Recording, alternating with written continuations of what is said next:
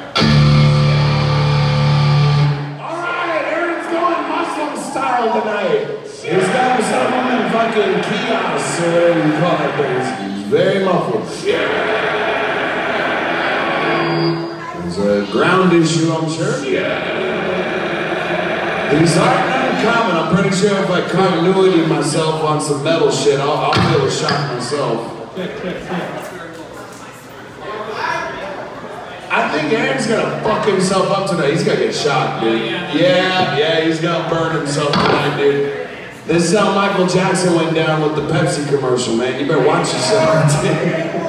too soon, too soon.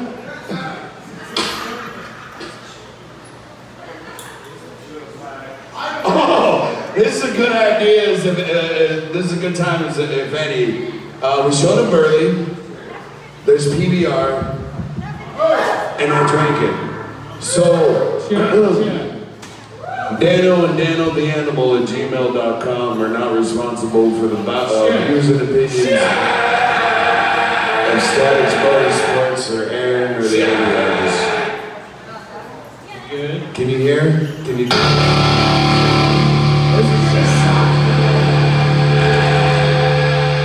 Is it gonna sock you? You gonna be alright? I don't want it to shock you, man. It's gonna piss me off. Check, check, check, yeah. If you can hear me. All right, I can. Well, that's all relative when we start playing, man. Yeah. That's all relative. Thank you to everyone who's still sticking around and showed up, that played, that is running this venue, everyone that's involved, man, from promotion. It means the world to us. This is awesome, man. This this is a dream. I, I didn't expect, if you would have asked us years ago, would it end up like this? I would have said, fuck, I didn't even expect to be alive. So this is awesome. This is great. Yeah. And ladies and gentlemen, this is my brother in music on the guitars, bass, and vocals, and driving, and fucking everything. Mr. Aaron Tennell on guitar, bass, vocals.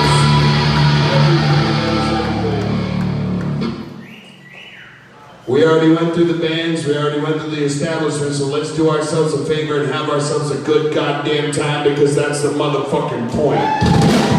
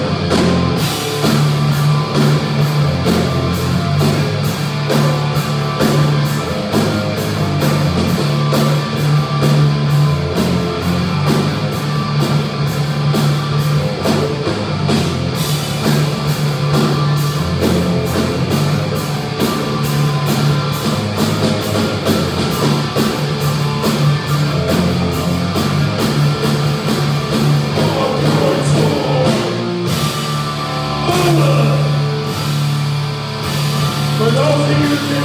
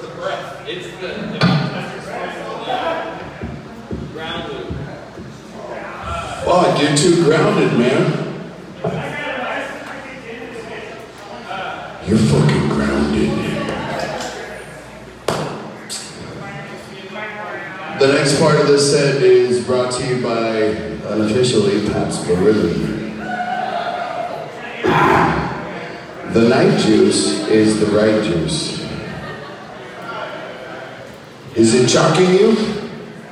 Oh, fuck. You don't have a, a mic sock in there somewhere in that bag of tricks here, yours for us? Oh, shit. Now I'm worried that's gonna shock me. I heard a noise. Oh. It's okay, because if the 80s taught me anything, he's going to turn into Max Headroom. Or the Lawnmower Man. I'm hoping for Max Headroom. If you have a drink in your hand, you're 21 years of age or older. Cheers, motherfuckers. If you do not have a beverage in your hand, you're 21 years of age or older, and I suggest going over there and grabbing yourself a ice cold Pabst Blue Ribbon. Pabst Blue Ribbon on my mind.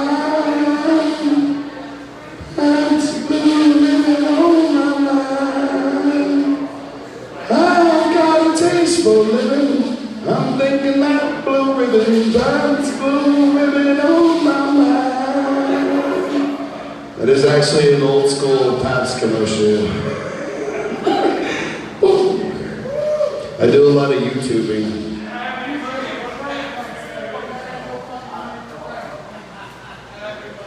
Don't shock my friend.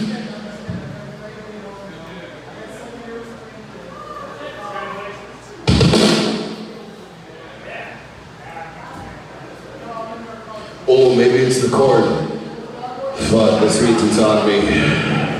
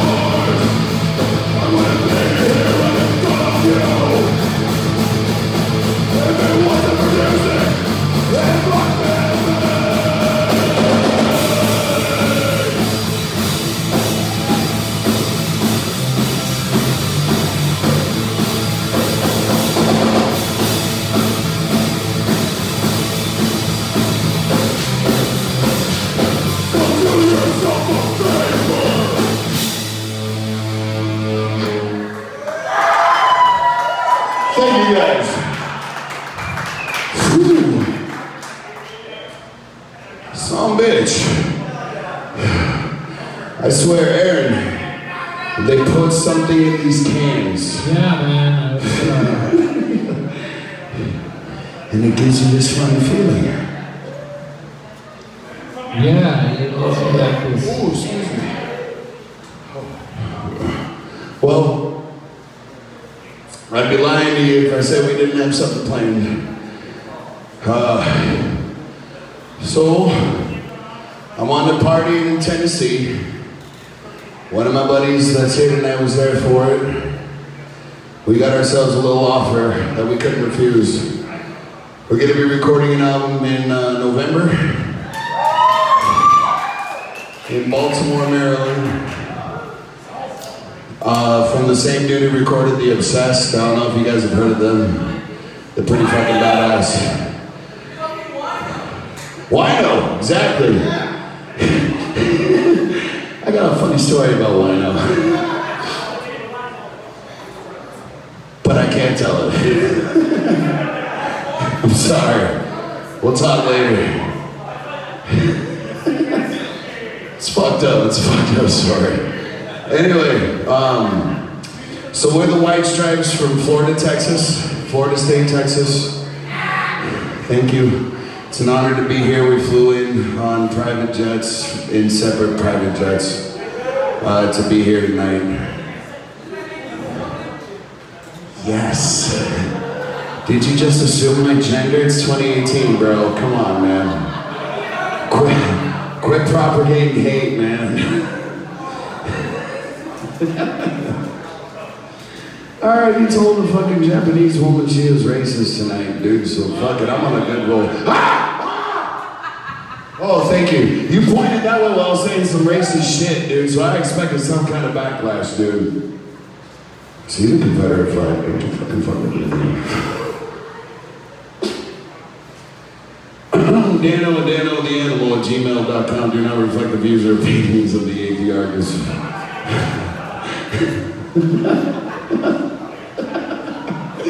Thank you guys so much for sticking around, man. Once again, to everyone who played, to everyone who stayed, man, fucking thank you so much from the bottom of our hearts. It means the world to us. We don't care if there's five or fifteen fucking hundred, man. We're gonna fucking make sure we rage until my testicles physically leave my scrotum. We love all of you.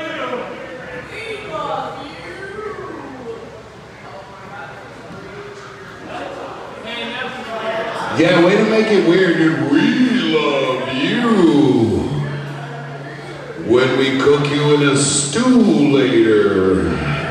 I was just getting my knife sharpened. You should have stuck around. Yeah. you didn't even give me time to sharpen my knives, man. Yeah! So there I was backstage at a Slayer show.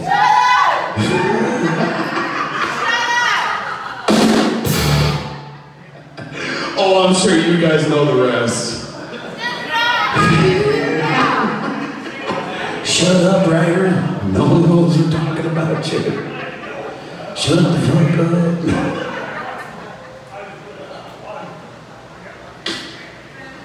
You guys make it so hard to play a serious show, I swear to God. We're supposed to be like angry and like metal and shit like that, right?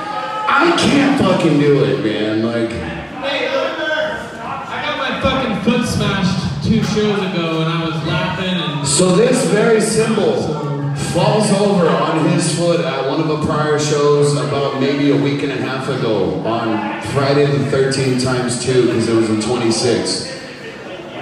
And and I look at him at one point, I go, dude, is it broken? And he looks back while we're playing and goes, I don't know. while he's still playing. I haven't spoke to this motherfucker since. Cause the look in his eye was like, dude, there's an intervention in your future and we might be able to get this on television. That the look in his eyes that I saw was a, it was a crazed madman, I tell you. I mean, I love music. but This man loves music. Uh, oh, excuse me. I digress upon a million digresses. Let's play that fucking new song that we're gonna put on the new album in November, shall we? Alright.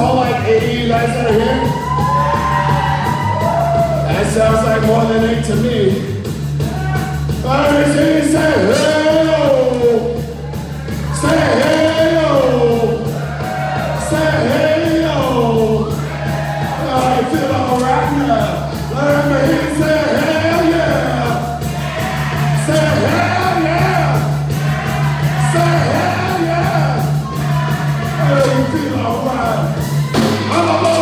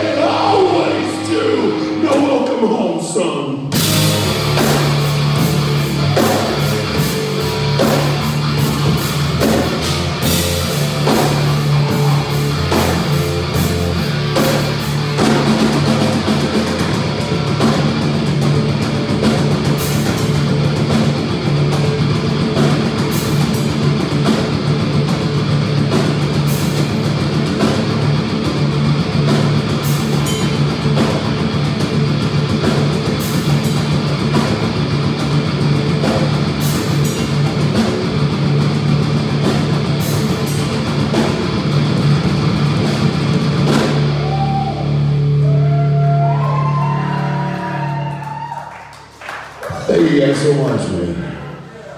Thank you.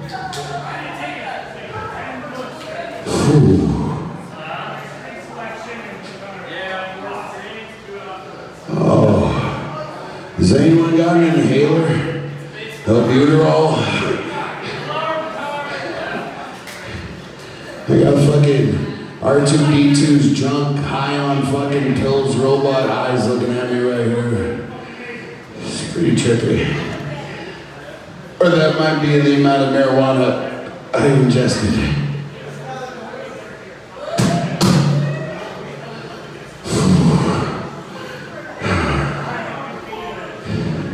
We having a good time so far, or what? You guys want one more song? How about two? Maybe three? I'm fucking with you. We're gonna play as long as you guys want us to, man. We're all yours for the evening.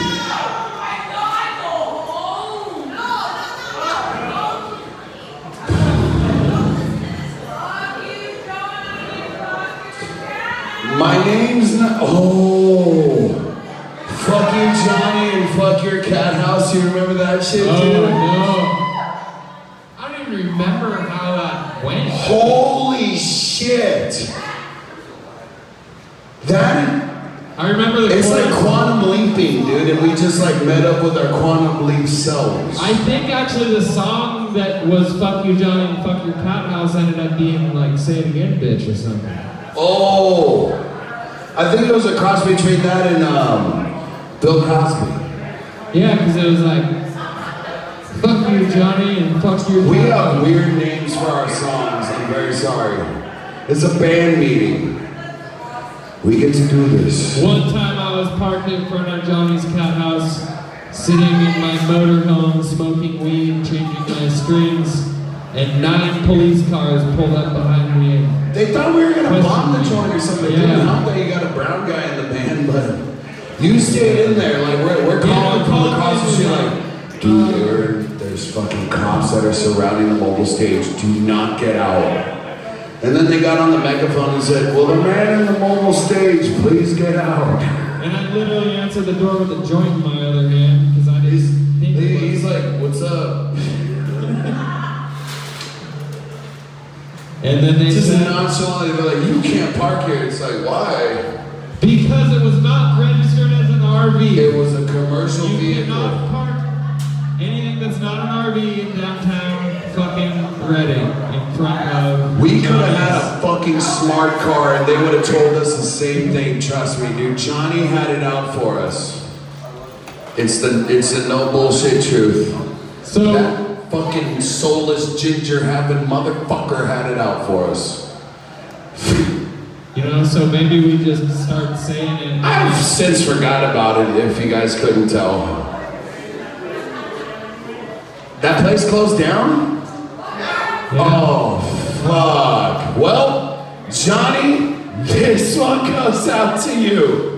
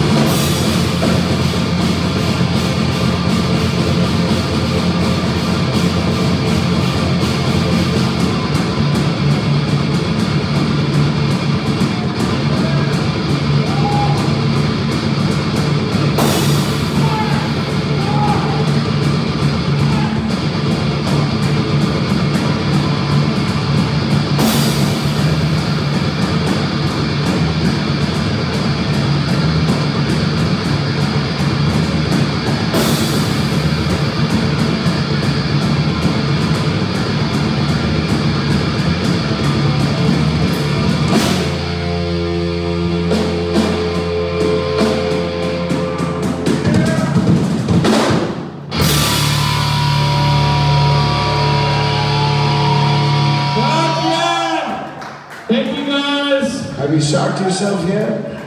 It seems way better. Uh, is it weird that we changed the name of the Fuck You Johnny and Fuck You No, to no, Bill no, Cosby no. of all things?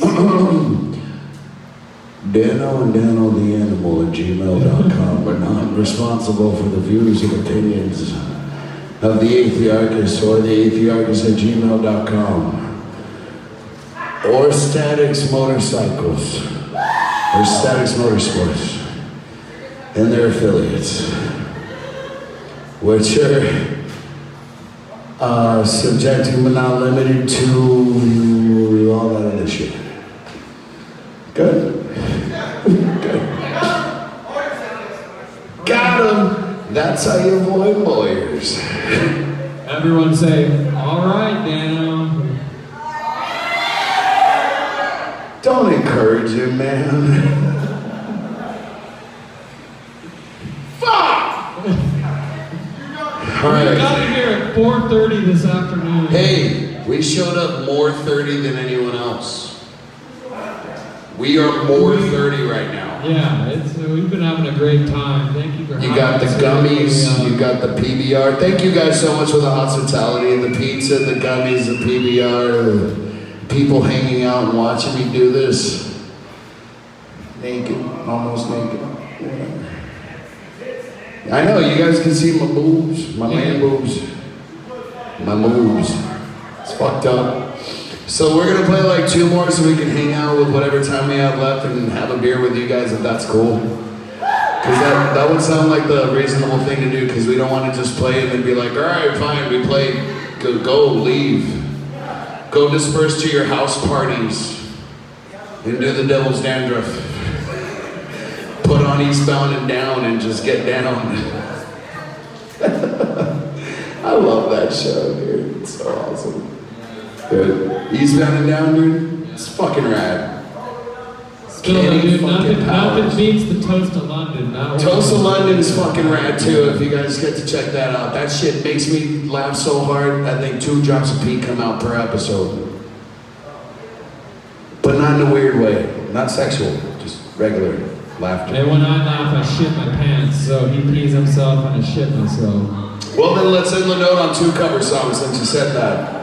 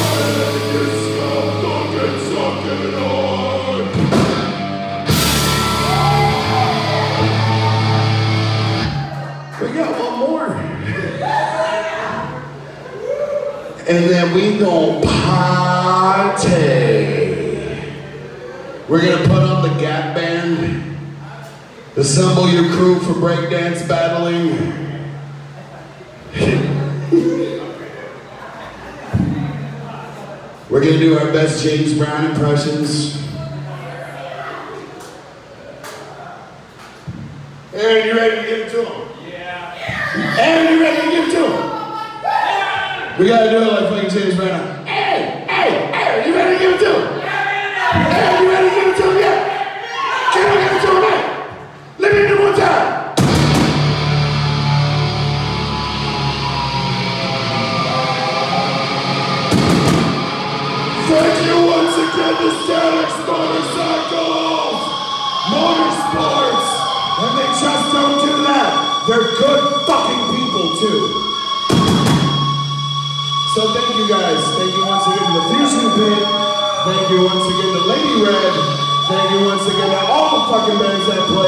and all of you that stayed. Our sound engineer, Harry, fucking everyone in between, man. And for fuck's sake, thank you so much to Pabst Blue Ribbon and Weed Gummies.